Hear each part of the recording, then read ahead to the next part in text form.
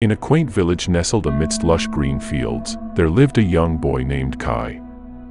He was known for his adventurous spirit and curiosity, but there was one thing that held him back, fear. Every time Kai faced a new challenge or a daunting task, fear would grip his heart, causing him to hesitate and doubt himself. He longed to be brave like the old warriors, but he didn't know how to overcome his fears. One day, Kai heard rumors about an ancient Zen philosopher who lived on top of a nearby mountain. It was said that the philosopher held the secret to facing fear with unwavering courage. Filled with hope, Kai decided to seek the philosopher's wisdom. The journey to the mountain was treacherous, with steep paths and wild beasts lurking in the shadows.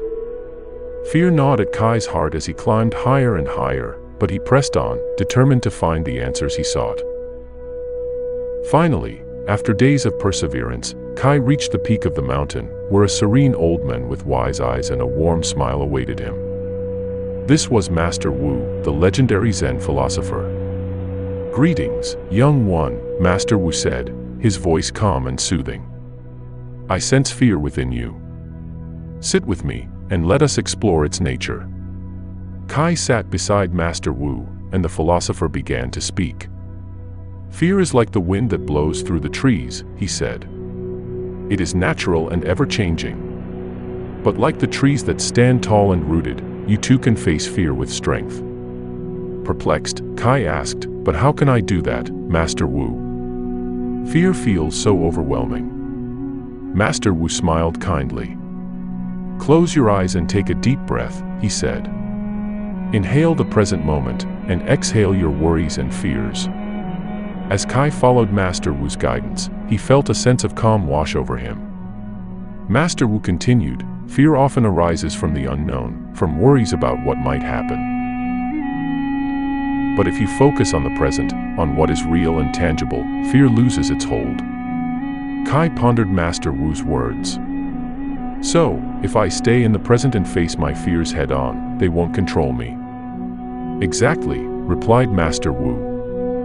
Fear loses its power when you confront it with clarity and awareness. Remember, it is okay to feel fear, but do not let it paralyze you. Embrace it, acknowledge it, and then take a step forward despite its presence.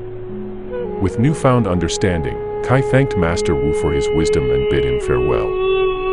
As he descended the mountain, he faced moments of fear and uncertainty, but now he knew what to do.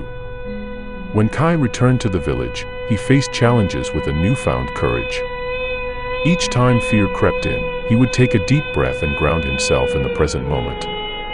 With each step, his fear diminished, and his confidence grew.